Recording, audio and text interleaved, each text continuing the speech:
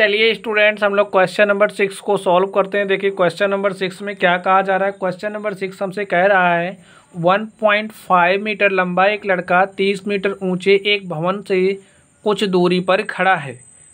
तो आप लोग समझिए, सबसे पहले हमारा क्या है? ये हमारा ग्राउंड है, ज़मीन है, और इस ज़मीन पर एक भवन है, और ये जो भवन है कुछ इस तरीके से ऐसे खड़ा है। यही हमसे कहा जा रहा है। और ये जो भवन है इसकी जो लंबाई है, वो कितना दिया है? तीस मीटर दे रहा है। नेक्स्ट क्या कह रहा? कह रहा कि एक लड़का है और ये जो लड़का है, इसकी जो लंबाई है, वो कितनी है? इस लड़के की लंबाई कितनी है? वन पॉइंट फाइव मीटर का लड़का है। अब वन पॉइंट फाइव मीटर का लड़का है और एक तीस मीटर ऊँचा भवन है। भवन से कुछ दूरी पर खड़ा है। तो लड़का देखिए भवन से कुछ दूरी पर खड़ा है और नेक्स्ट देखिए क्या कहा जा रहा है। जब वह ऊँचे भवन की ओर जाता है, अब ऊँचा भवन तो यही है, जब लड़का इस भवन की ओर जाता है, यानी कि यहाँ से लड़का इस तरफ़ जाता है तो क्या होता है?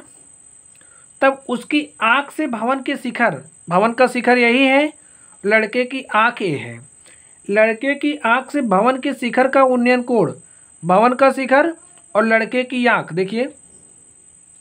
लड़के की आँख और भवन के शिखर का उन्नयन कोण तीस डिग्री से, तीस डिग्री से कितना हो जाता है? Sixty degree. अब लड़का यहाँ से इस तरफ़ जाएगा?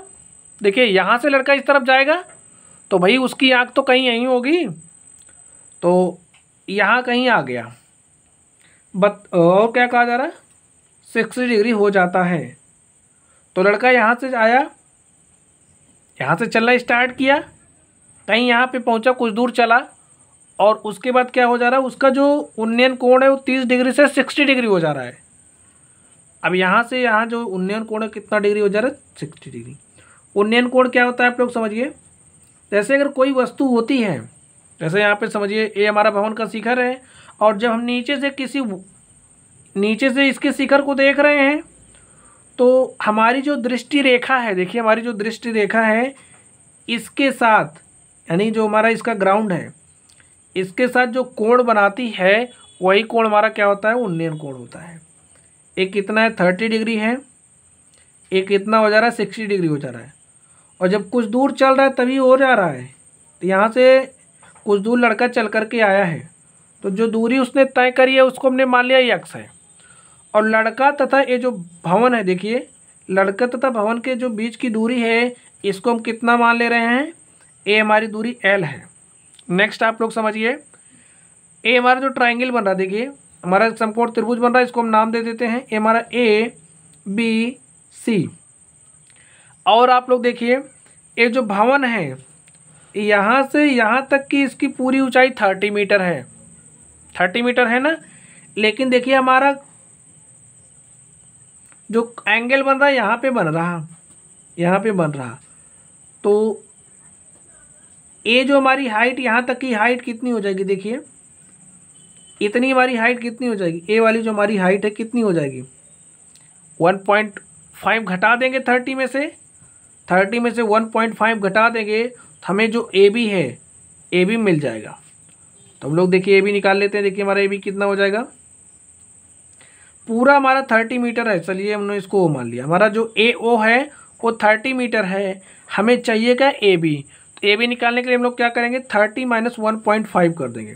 करिए thirty minus one point five तो थर्टी में से वन पॉइंट फाइव घटाएँगे तो हमारा कितना आ जाएगा?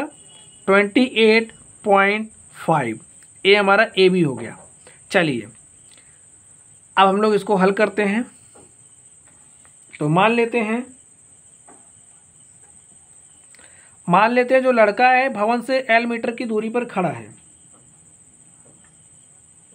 माना लड़का भवन से एल मीटर की दूरी पर खड़ा है। खड़ा है तथा, देखिए एक्स मीटर की दूरी तय करके, तथा एक्स मीटर की दूरी तय करता है। जब उसका, ये जो उन्नयन कोण है थर्टी से सिक्सटी डिग्री हो जाता है। उन्नयन कोण थर्टी डिग्री से सिक्सटी डिग्री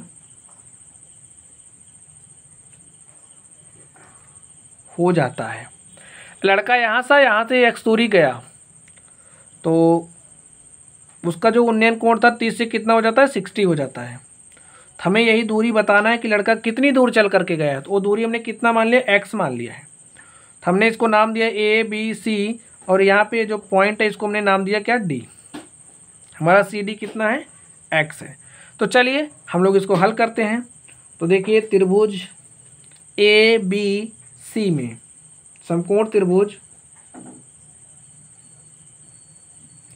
समकोण त्रिभुज ए बी सी में। तो समकोण त्रिभुज ए बी सी में देखिए आप लोग। ए बी सी में। हमें थीटा पता है। थीटा के सामने की भुजा लंब और यहाँ पे देखिए हमें बी, हमें ये जो बी सी ये पता है। बी सी कितना एल है? बी सी कितना एल है? तो हमें लंब और आधार का रेशियो पता है। तो लंब और आधार का रेशियो हमारा क्या होता है? टेन थीटा होता है और थीटा कितना है? थर्टी डिग्री है। Tan thirty degree is equal to हो जाएगा ए बी अपॉन में C B tan thirty degree कितना होता है? One upon under root three A B हमारा कितना है? देखिए ए बी हमारा कितना है? ट्वेंटी एट पॉइंट फाइव और ये जो सी बी ये क्या हो जाएगा? सी बी हमारा एल है ना? तो लिख दीजिए अपॉन में एल और यहाँ से देखिए हमारा एल क्या हो जाएगा? एल इज़ इक्वल टू हो जाएगा twenty eight point five root three इधर चलाएगा अंडर रूट थ्री तो हमारे पास एल आ गया। चलिए, इसको हम लोग क्या मान लेते हैं? समीकरण नंबर एक। नेक्स्ट अब हम लोग देखेंगे त्रिभुज ए बी डी में। तो लिखिए त्रिभुज ए बी डी में क्या हो जाएगा? समकोण त्रिभुज।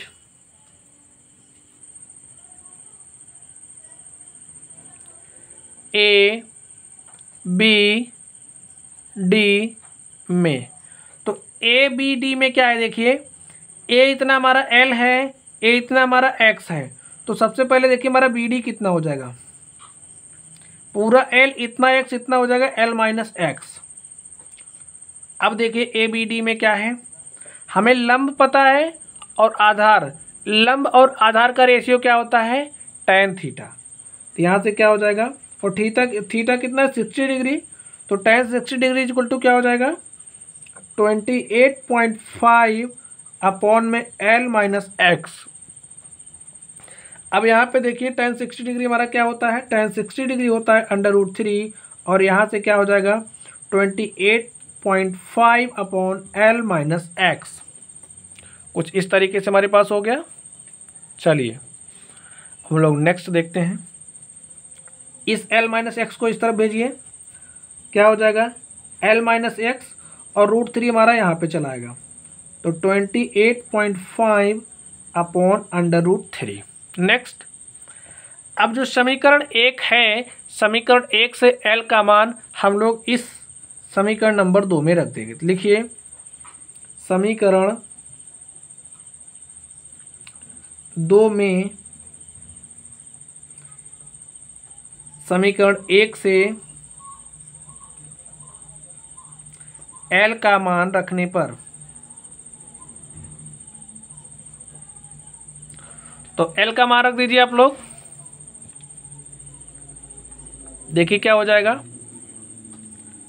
एल कितना है?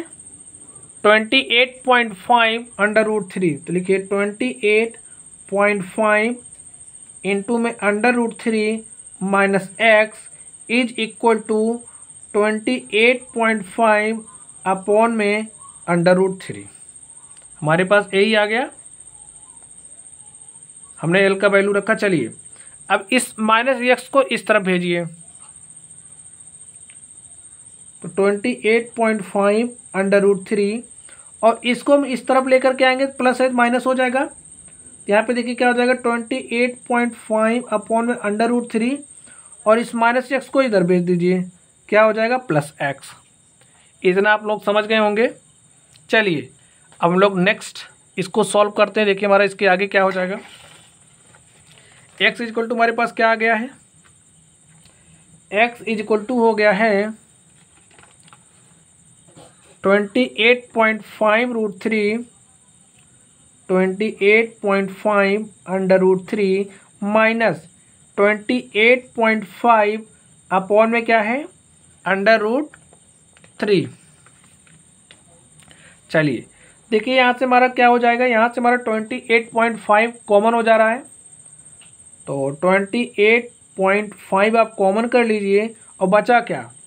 Under root three minus one upon under root three. ये हमारा किसके बराबर है? एक्स के। तो यहाँ से देखिए क्या हो जाएगा? Twenty eight point five. Under root three को इससे मल्टीप्लाई हर बराबर करिए, इसको उसके बाद घटा लीजिए। तो घटाई, हर बराबर करिए। हर बराबर करने के लिए इसके ऊपर नीचे हम लोग अंडर रूट थ्री से मल्टीप्लाई करेंगे तो क्या हो जाएगा? अंडर रूट थ्री इंटू में अंडर रूट थ्री हमारा क्या हो जाएगा? थ्री। तो यहाँ पर हो जाएगा थ्री माइनस वन अपॉन में अंडर रूट थ्री और यहाँ से देखिए क्या हो जाएगा।